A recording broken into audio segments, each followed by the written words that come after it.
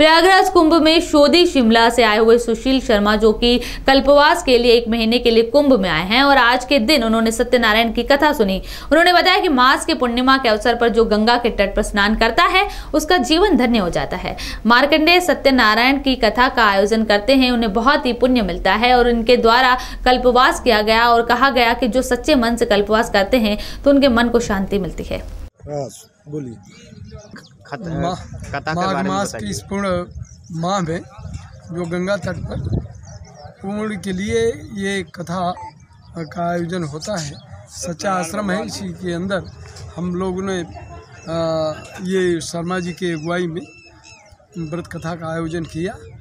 आपने ही किया था हम लोग सहयोगी हैं और भगवान की कथा बड़ी अच्छे ढंग से हुई। ये कथा बड़ी पूर्णदायी और बड़ी फलदायी है। और इसका बड़ा सामान्य जन के लिए बड़ा लाभ है। इससे हृदय की शुद्धि, मानसिक शुद्धि, शरीर की शुद्धि और इससे तमाम नैसर्गिक लाभ प्राप्त होते हैं।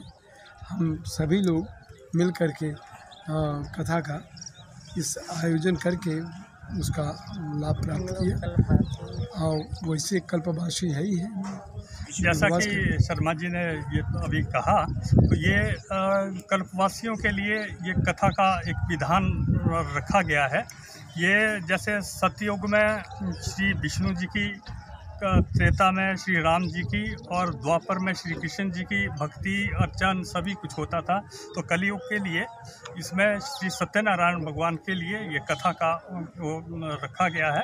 और ये कल्पवासियों के लिए भी विशेष वो, गंगा तट पे हम होते हैं तो ये गंगा तट पे इसका कहते हैं करोड़ गुणा फल ज़्यादा मिलता है बनस्पति घर में सत्यनारायण की कथा करने से। तो ये सत्यनारायण की कथा मारकंडेय पुराण की कथा है। मारकंडेय पुराण सत्यनारायण की जो कथा ये की जाती है इससे सारे ये बहुत ही एक धार्मिक उसमें कथा है आयोजन है। और आयोजन है और ये कल्पवासी इसको हमेशा अपने यहाँ कल्पवास के उसमें करते रहते हैं और हमेशा करते हैं जिससे अपना आत्म शांति और उससे होती है तपस्या में उसमें बढ़ोतरी होती बढ़ोतरी होती है सब कुछ दुख दर्द जो भी है आपका वो मिटते हैं आपको सुख शांति मिलती है इसी का ये आयोजित मानव शांति के लिए जो आ, कल्पवासी हैं अपनी आत्मा की शांति लिए भगवान में लीन रहने के लिए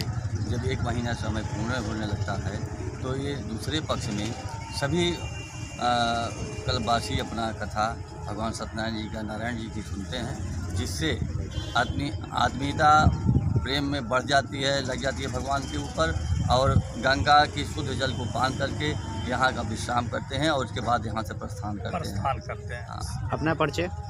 दिलीप कुमार शुक्ल एडवोकेट राम प्रतापगढ़ आप अपना शिव शुभ सात त्रिपाठी एडवोकेट सुशील शर्मा शिमला से हूँ और यहाँ कल्पवास के लिए हर साल आया। आया हूँ। आता रहता हूँ और ये सत्यनारायण की कथा का भी हम हर साल यहाँ वैसे ही आयोजन करते हैं। आप अपना परिचय दीजिए। मेरी धर्म पत्नी ये उमा शर्मा ये भी मेरे साथ कल्पवास में है हम शिमला से हैं।